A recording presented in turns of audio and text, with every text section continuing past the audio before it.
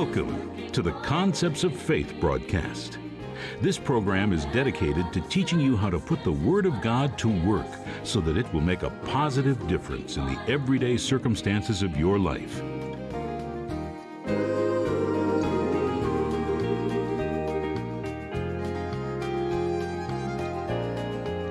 Welcome to the Concepts of Faith broadcast today. I am privileged to have my mother, Peggy Capps, with me today. Mom, thanks for doing it. Well, you're very welcome.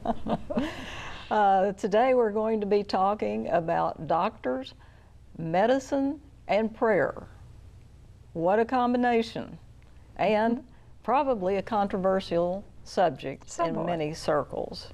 So- I really feel like it's important though because so, we get so many letters and so many people asking us about should I go to a doctor, should I do this, what should I do, and if I go to a doctor, what does that mean? I'm not believing God.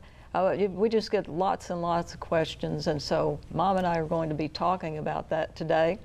But right now, I'd like for you to see a clip from my father, Charles Capps, talking about this subject. And uh, he could always say it like nobody else. That's true. so let's take a look at what he said. But you see, God will never say no to something He's already given you. If faith is there and you call for it and you hold fast to the Word. Now don't, now don't read something into this that I didn't say. I didn't say go throw your medicine away.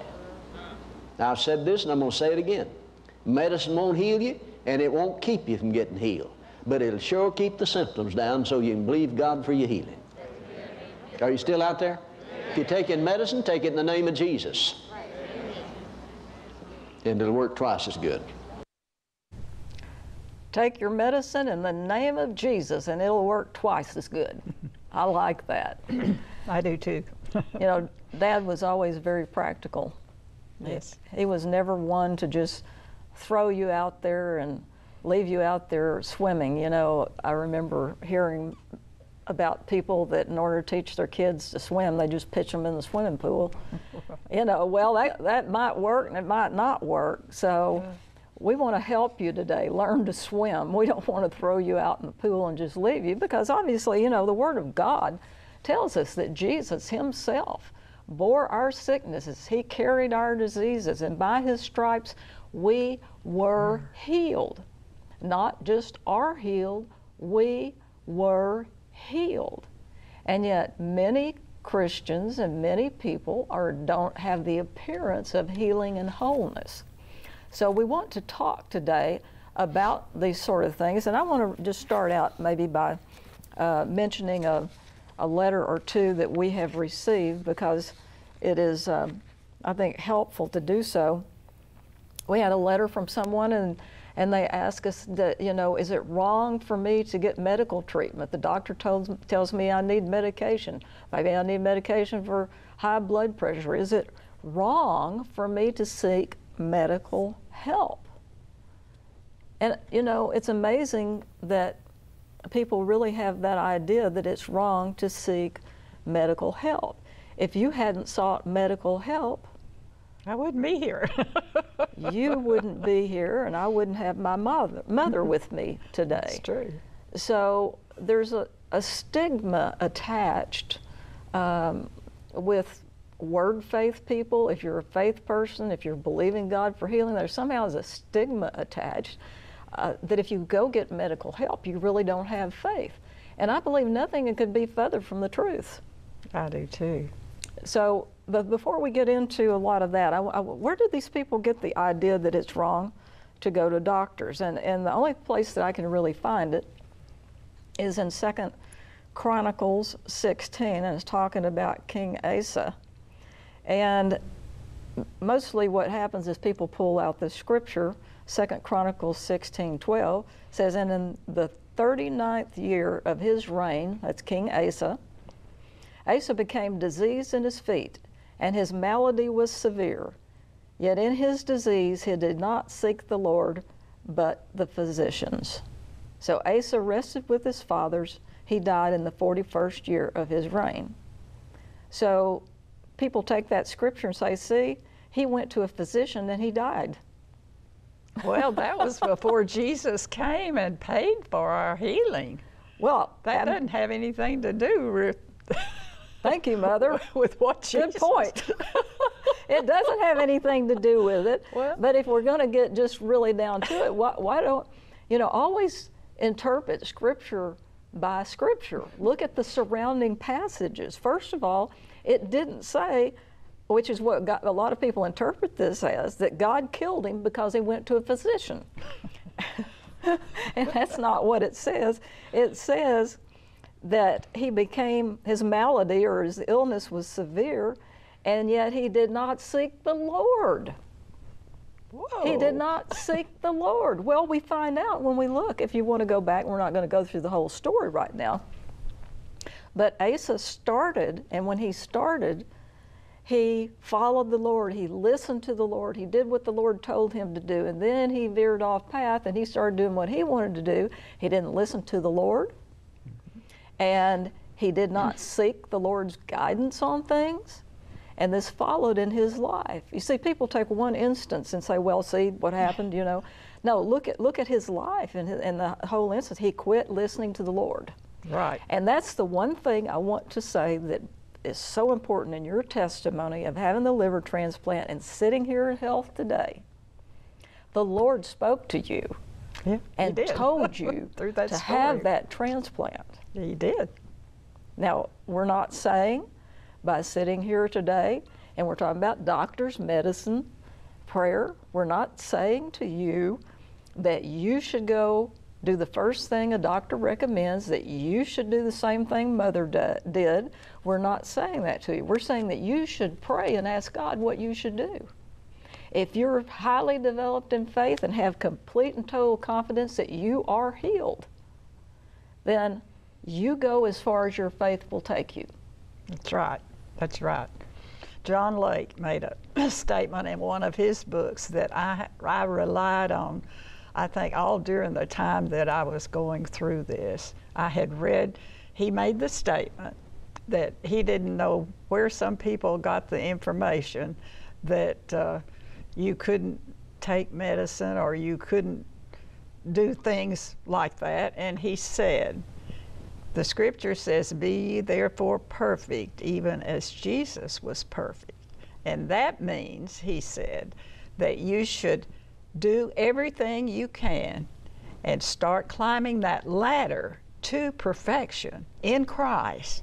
And you may get one rung up and something may happen to where you miss it. But you go on and you correct that and you go. And I could see myself climbing that ladder step by step. When things would happen, I would miss, I'd say, okay, I'm still going, I'm still going. And he said, even if you only get halfway to the goal of being as perfect as Jesus was perfect. And that is talking about in his everyday life. You know, of course, we all know we're not going to be completely as perfect. He was the only one that was ever perfect in that sense. But we can keep striving and keep improving and climbing towards that goal by doing what the Word tells us to do. And that helps us get that way, get on up that ladder to being like Jesus. You know, He's provided, Jesus provided our healing. By Jesus' stripes, we were, healed.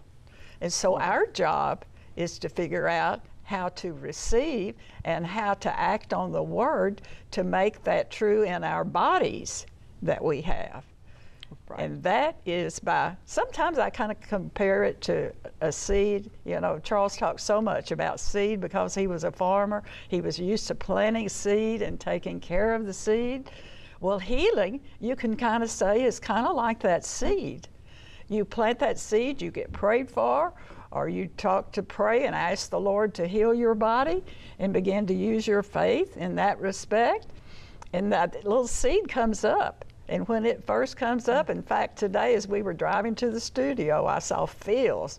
They were, you know, just about that high, the little soybean seeds. And, you know, if you don't take care of that seed, you know what's going to happen? It's going to wither and die. Grass will grow up around it and choke it out. and that's that's even in the Bible said you know Yes. the cares the will choke it out, Okay. and so you have to be very careful and not let things of the world choke out your seed of healing. You've got to take care of that seed. You have to take care of your body. You can't go around and mistreat your body and expect it to be well. It won't be well. This is a natural world that we live in. Live in. So therefore, there are certain things that we have to do to receive healing and keep our healing. And we can't just do anything we want to and disobey what God tells us to do. If Yeah. we don't live obedient to the word, you can't expect the promise. And you know, sometimes preachers are the worst about taking care of themselves of anybody, you know.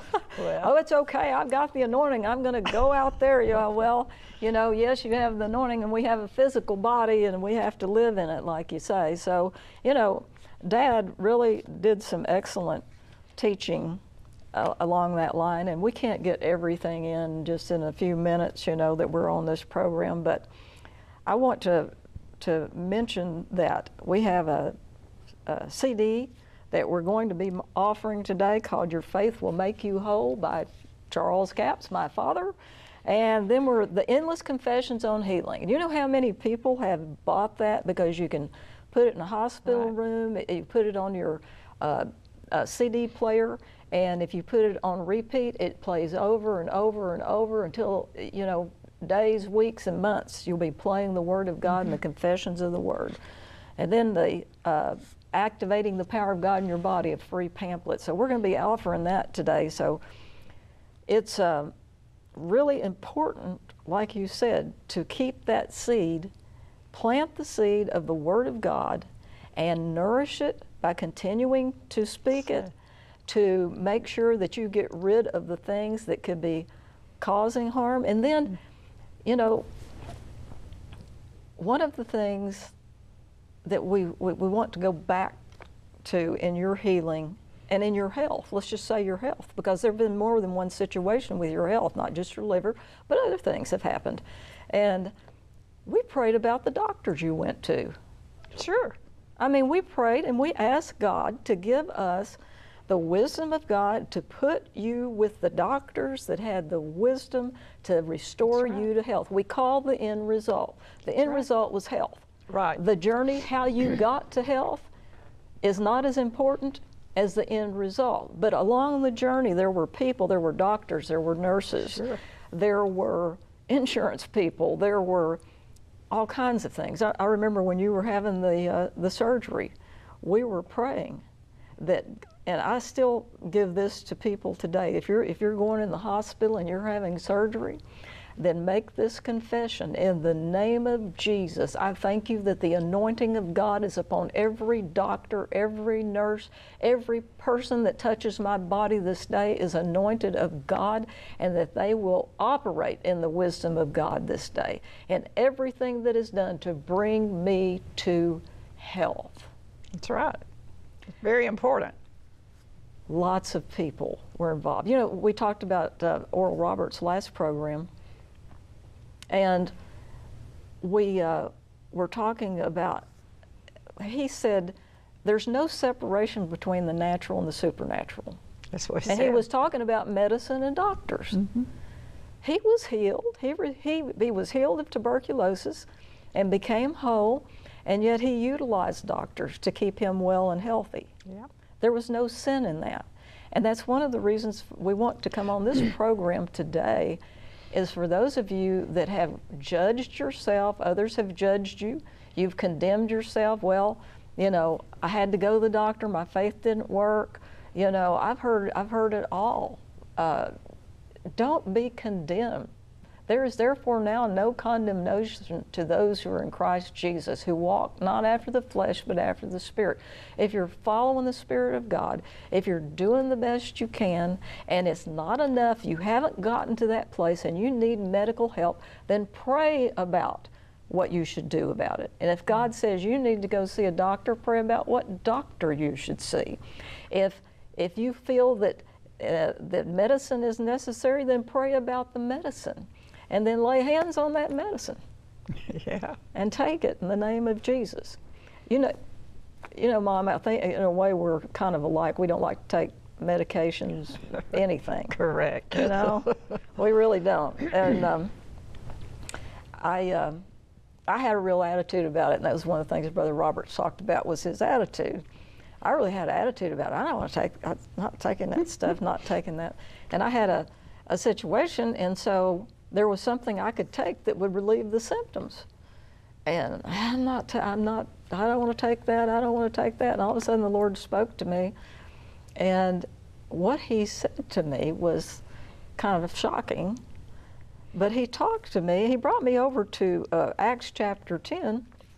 And in Acts chapter 10, Cor- there was a man named Cornelius, and he had prayed, and he was a giver, he was a prayer, and God spoke to him, told, told him to call for Peter. Now, Cornelius was a, a, a, a Gentile, and Gentiles and Jews, you know, the Jews weren't going to have anything to do with the Gentiles, but God told Cornelius to call for Peter.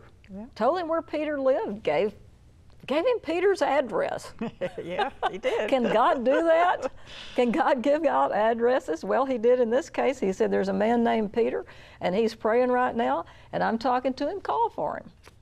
And so Peter was praying, and he was, he was hungry, and he had a vision. I've had visions when I was hungry too. I remember one time I was on a oh. missions trip, and I wanted good food, and I fell asleep, and I was dreaming about a chocolate cake. Oh, my And I mean, in my dream, I was just opened my mouth to take that bite, and I woke up and no chocolate cake. But anyway, back to Peter. Peter was, you know, praying, and he saw a sheet lowered down from heaven with all of these unclean animals and mm-hmm. different things, and God said, "Arise, Peter, kill and eat." Mm-hmm. And he said, Oh, not me, Lord. I'm religious. I've never eaten anything unclean. Nothing unclean's touched this body. And it happened three times. And you know, when it happened the third time, Peter said, You know, I think God's trying to tell me something. so, anyway, God used that story and he was trying to tell me something. And what he was telling me is, What I have cleansed, do not call common or unclean. And if God tells you you need to take medication, then do not call it unclean and condemn yourself. Pray over it. Thank you, Lord, you've cleansed this. It produces only the results in my body that lead to health. That's right. And that's what God told me. Now, God may tell you, or somebody else, God may tell you, don't you take that medication. If He says that, then, you know, you need to talk to your doctor and, and pay attention if God's telling you that. But that, you know, Dad's talking about, I'd heard him say that before about take your medicine in the name of Jesus and it'll Right. work twice as well. And then I just added the thing, and it will produce no ill side effects. well, where'd the medicine come from? Well, everything comes from the earth, and God made the earth. That's right. So So why would that be bad? the only reason that it would be bad if, if it's taken to not produce health. okay. And so if it produces health, then that's a positive thing. And if God tells you that you need to do it, then you can do it without condemnation. That's right. There's a lot of important pieces to this. Yeah, it's it's a, a lot of things. I mean, you can't just step up and say this. You know, you can't do anything but this, or you can't do anything but that. That that you know, there's too many things involved in healing and in your body. You know, you have to study and be sure you have all the pieces of the puzzle, so to speak, before you make any kind of statements like you can't take medicine or you should take medicine, or you can't go to a doctor, or maybe you should go to a doctor. Unfortunately, I have been acquainted with at least one person who would not go to a doctor, and we all had no idea of the problem that was in her body at the time. But she died. And after it was over, we were all in shock because we had no idea that she would not go to a doctor. Now, I do not know the reason, but I know that we were all very troubled because of the fact that she made that decision she wasn't going to a doctor. Well, you know, I don't know what her reasons were, but I know that we were all very stunned and very hurt that she died. So, you know, you can't answer for everyone a certain way, but You need to do everything you can. God, Jesus came and died on the cross and suffered, shed his blood, had stripes on his back for our wholeness, our complete being. And so, why would we refuse to take any method that he has provided for us? I'm not going to do that. I'm going to take every, if I need to, I'm going to take every provision that He has made possible in this earth and well, thank Him for it. The Bible, you know, repeatedly tells us that life and death is our choice. Yeah. And choose life. Don't choose death. Right. Choose life. Right. And I believe that if you're really totally opposed to going to a doctor, if you pray and ask God, what should I do about mm-hmm. this? That if you're supposed to go, if you need medical help, God's going to tell you. Right. Just like yes. with your liver transplant, right. God said, well, you know, He gave you that sto- yeah. funny story. I kind of compared to the lady I was telling you. Yes, yes, you. But but you listened, you know, and and this is where people say, well, I'm I'm the blessed, I'm blessed, I'm redeemed to the Lord, and and if your faith, you know, eventually your faith gets up there you know, it, you have to start somewhere. Right. That's you can't true. start out believing for healing or a, a, miracle liver. You can't, I mean, that's just, unless it's just a supernatural thing that happens. Um, yeah, I'm going to stop because this just, just really a, a, hit my mind about people, you know, play the lottery. what is I hear people say, you know, I can't make my house payment, so they go buy a lottery ticket. and they, and they're and they're hoping they they're hoping that they're going to win the lottery and get all this money, you know, that that's going to be meet their needs. And I, I think sometimes people do that with healing too. It, it's like, okay, uh, I'm going to do step one, two, three, four. I've confessed the word three times a day for a month. I have, you know, done this, I've declared this, I've done this, and I've done that, and it hasn't happened, so I'm going to go to a healing meeting where somebody operates in the gifts of healing, and maybe it'll happen then. Well, you know, going back to the lottery, you might win the lottery, but the chances are very, very slim. And you might find someone operating in a powerful anointing of healing where a gift of healing happens or a gift of working of miracles happen. You might find that. Mm-hmm. But one sure-fired way to be whole and to get healthy is through confession of the Word of God. It's not winning the lottery, though. it's not right. winning the lottery of healing. Like, you know, God's up there. I have this picture of some people, and I, you know, God's up there in heaven, and He's got all these miracles and healings, and He just chooses to dole them out you know, and why was this one not healed? And why was that one? Because, you know, God's up there just choosing and doling it out. No. And it's not a matter of God didn't heal you or God's not going to heal you. The Bible clearly states that Jesus died for your sins. Salvation is an accomplished, finished work. You don't go around saying, God, why didn't you save so and so? God, why didn't you save this one? Why didn't you save that one? Because we know provision was made for salvation. All that person had to say is, Lord Jesus, I accept you into my life right now. I claim you as my Lord and Savior and give my life to you. And it's the same with healing. Right. Jesus, He died not only for our sin but our sickness at the same time. It's not a matter of please God heal me, please God heal me. It's done. It's accomplished. It is finished. All that is needed is for you to accept and plant the seed of that word in your heart. It's not God up there doling things out. It's accomplished. And the I think one of the biggest issues is our ability to receive. Mm-hmm. That's true. God is the source of all healing. God is the source of all health. Amen. He's the source. Yes. We don't look to doctors. We don't look to medicines That's as right. our source. We look at that as instruments to healing Mm-hmm. and helping us, getting the symptoms down.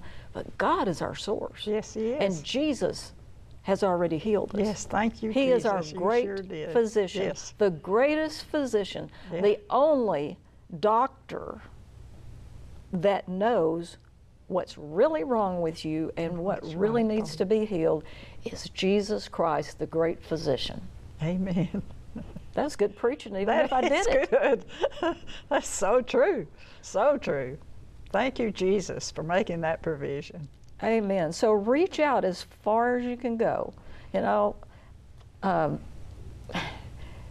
just reach out as far as your faith will take you. And when your faith has reached it, then ask the Lord what you need to do next. It's just that simple. Well, we talked today about doctors, medicine, and prayer, with the end result, of course, you being healed and living in health. Living in health means being whole, spirit, soul, and body. I have a CD here entitled Your Faith Will Make You Whole. This is one of the best teachings by my father, Charles Capps. Be made whole. You know, Jesus asked the question, Will you be made whole? to the man at Bethesda, and he is asking that question to you today. Will you? Will you be whole? Faith in God and His Word and acting upon it will bring health. We also have a CD called Endless Confessions on Healing. This is a special CD that I ask our audio person to make for people to use in hospitals and other situations where they need the Word being confessed constantly without interruption. This has Charles Capps reading all the confessions from the book, God's Creative Power for Healing. These two CDs are available for only $16 plus $4 shipping and handling in the U.S. I'm going also to include a free teaching pamphlet, Activating God's Power in Your Body. Many people know how to ask for healing, but need instructions on how to activate that power by acting out their faith. You can call now 1 877 396 9400. Ask for offer 2158. That's $16 plus $4 shipping in the United States. If you want to order these items separately, you can call and ask for individual pricing and shipping charges. We also have MP3 downloads and ebooks available on our website at capps.tv. Our goal is to get the good news of the Word of God out to you in every format because God wants you well. Join us on the next program as we continue this subject. To order a copy of today's show or any product offered on this program, call 1 877 396 9400 or visit our website at capps.tv where you can order downloads of our MP3 teachings, ebooks, and watch other programs on demand. This broadcast has been sponsored by Capps Ministries and is dedicated to helping you put the Word of God to work in the everyday circumstances of your life.